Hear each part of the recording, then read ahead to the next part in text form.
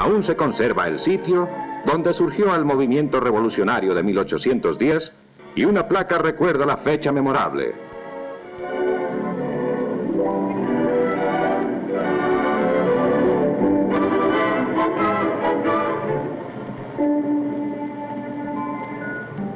La Plaza de Bolívar es una mezcla de la arquitectura de varias épocas, como es una mezcla de las costumbres más variadas toda la vida bogotana.